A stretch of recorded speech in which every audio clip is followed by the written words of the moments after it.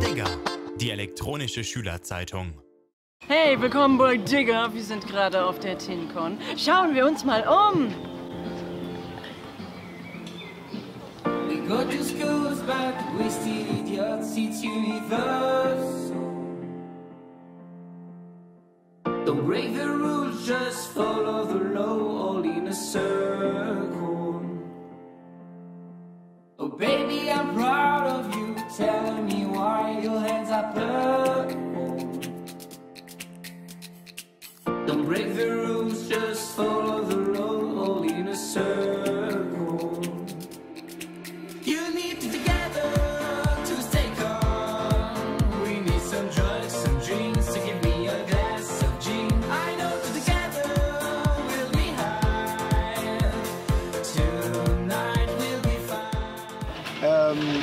ich normalerweise habe ich, ich habe eine Agentur, da arbeite ich und so, aber ich mache auch so ein paar Videos. Genau. Darauf willst du wahrscheinlich hinaus, vermute ich mal. Was machst du denn überhaupt für Videos? Ähm, ja, ich baue so Zeug. Ich baue Kram in meinem Garten für mich und meine Freundin und ähm, das filme ich. Das ist schon das ganze Konzept. Und was baust du da zum Beispiel? Alter, voll viel. Ähm, jede, alle zwei Wochen was anderes. Eine Mini-Ram, ein, ein Teich, ähm, Tische, was man so braucht im Haus. Äh, Zeug im Garten, viel im Garten. Ich repariere Dinge, baue was neu zusammen, baue noch was Neues auf, habe eine Eierverschenkmaschine gebaut, halt voll, also super ähm, unstrukturierten Kram einfach. Und du bist heute auf der TinCon mit uns. Warum genau? Weiß ich auch nicht, die haben mich gefragt, ob ich nicht vorbeikommen möchte. Da habe ich ja gesagt und jetzt bin ich hier. Und was stellst du hier jetzt vor? Ja, normalerweise sollte man mit einem Konzept kommen, habe ich aber auch nicht gemacht. Ich hab, bin komplett unvorbereitet. Äh, die haben mir netterweise diesen Titel Authentizität, authentisch The Movie, wie auch immer sie das genannt haben, gegeben. Demnach muss ich mich also auch nicht vorbereiten, sondern ich mache einfach das Gleiche, was wir jetzt auch gerade machen. Ich gehe dahin und erzähle irgendwas. Wie findest du die Stimmung hier so? Also du meintest ja schon, die laufen einfach so rum. Ja, die Stimmung ist geil. Finde ich, find ich super. Also die Leute sind, guck, guckt, euch- guckt euch um, alle voll entspannt, geiles Wetter, man hängt draußen rum. Finde ich gut. Also findest du auch, es sollte mehr von solchen Veranstaltungen geben oder die sollte zumindest ein bisschen populärer werden vielleicht? Ja, ich- war das nicht jetzt auch das erste Mal hier? Ja. Ja. Ja, darf gerne größer werden, keine Ahnung. Ich, äh, Ob es mehr davon geben muss, weiß ich nicht. Vielleicht, wenn die Leute Bock haben, sich öfter zu treffen, gerne so. Also, aber die scheint gut zu sein. Wie gesagt, ich bin seit zwei Stunden da, aber ich finde das äh, bis jetzt cool und würde mich freuen, wenn die damit Erfolg haben, sodass die das weitermachen können.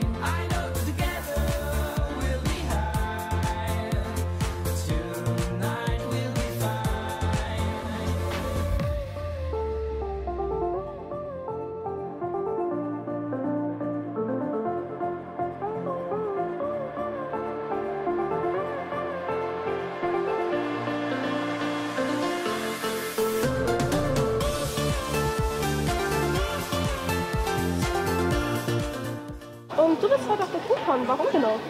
Ähm, also gehört habe ich von dem Ganzen von meiner Mutter, die ist irgendwie drauf gestoßen und habe ich ein bisschen rumgeguckt und mir gedacht, ja geil. Ähm, auf jeden Fall ist es so das erste Mal, äh, dass ich davon gehört habe, überhaupt von sowas gehört habe, weil es war ja entweder nur halt IFA so allgemein für alle oder dann nur für Erwachsene, irgendwie Republika oder so. Und dann jetzt dieses Ziel für Teenager ist eigentlich schon perfekt, weil das ist das erste Mal, dass es überhaupt sowas gibt.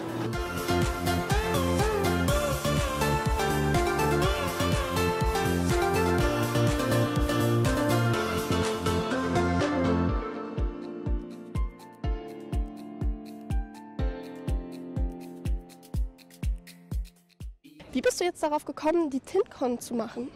Na, meine Frau Tanja und ich haben vor drei Jahren dieses Buch Netzgemüse geschrieben. Das war so ein Elternratgeber, weil wir so genervt davon war, dass, waren, dass ähm, im Zusammenhang so mit Jugendlichen im Internet, dass man immer nur auf die schlechten Dinge Wert legt und dass man immer nur darüber redet. Also Mobbing, Hate Speech war damals noch gar kein Begriff so in, in dem Sinne. Und äh, dass Eltern sich immer nur gesorgt haben, die sind immer nur am Smartphone und so. Und wir haben ein Buch geschrieben für Eltern, was so ein bisschen gesagt hat, entspannt euch mal ein bisschen. Da gibt es auch ganz viel tolles Zeug und vielleicht interessiert ihr euch einfach mal ein bisschen dafür und so. Und das hat ziemlich gut funktioniert. Und dann haben wir viele Vorträge vor Erwachsenen gegeben und das war ganz oft total langweilig. Und, und die Erwachsenen wollten auch gar nicht sich mit dem Thema beschäftigen, oft. Also viele natürlich schon. Es gibt ja auch viele engagierte äh, Lehrerinnen und Lehrer und so. Aber auch sehr viele Leute haben so gesagt, sie finden das einfach alles doof und sie wollen, dass es verboten wird und die sollen aufhören damit. Und da waren wir schon irgendwann auch so ein bisschen genervt von und dann haben wir gedacht, da ja alle immer sagen, man muss sich um die Jugendlichen kümmern und es machen aber dann doch am Ende nicht so viele, haben wir gedacht, dann machen wir doch mal so eine Art Republika für Jugendliche, also halt 13 bis 21 und die ganzen Themen aus der digitalen Welt, die halt bei Jugendlichen ja doch oft andere sind als bei Erwachsenen.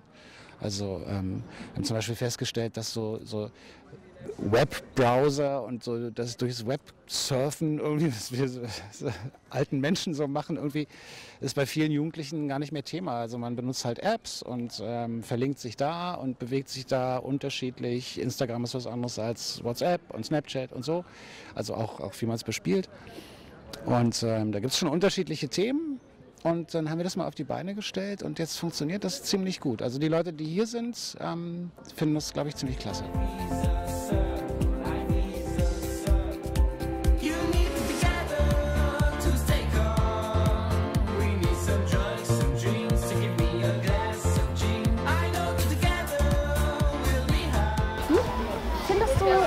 YouTube sehr entwickelt? Oh Gott, es hat damit angefangen, dass äh, YouTube damals noch Broadcast Yourself als Titel hatte und irgendwie damit geworben hat, hey, du kannst deinen eigenen Fernsehsender machen und du bist dein eigener Chef.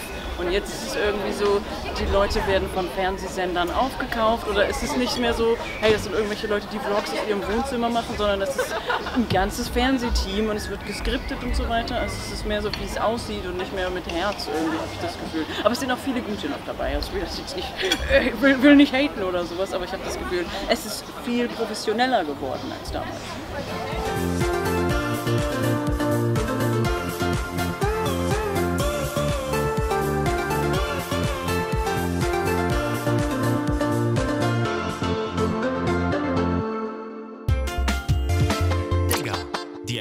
Elektronische Schülerzeitung.